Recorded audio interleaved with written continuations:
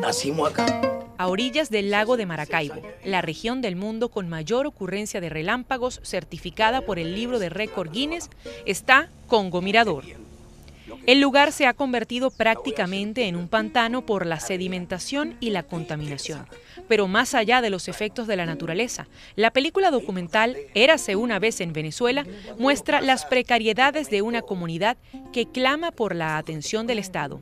Y es realmente como sumergirse en un mundo tipo Macondo, tipo Comala, ¿sabes? Estos pueblos arquetípicos latinoamericanos Érase una vez en Venezuela aspira a ser la nominada por Latinoamérica como mejor película extranjera o como mejor largometraje documental a los premios Oscar 2021.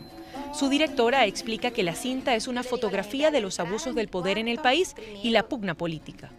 Eh, queremos que el tema de Venezuela esté en esos escenarios de la, de, la, de la academia que son tan influyentes en la opinión pública y, e incluso políticamente. ¿no? La realizadora cuenta que algunos de los habitantes de Congo Mirador, que fueron captados durante los cinco años de grabaciones, han sufrido los estragos de la crisis humanitaria.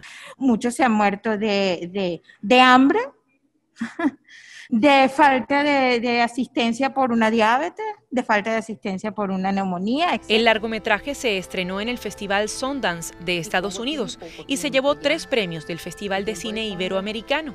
Pero el camino a ser incluida en la ceremonia de la Academia es largo y costoso según su directora, quien ha iniciado una campaña de recolección de fondos para que Érase una vez en Venezuela tenga la promoción necesaria para llegar a los jueces de los Oscar.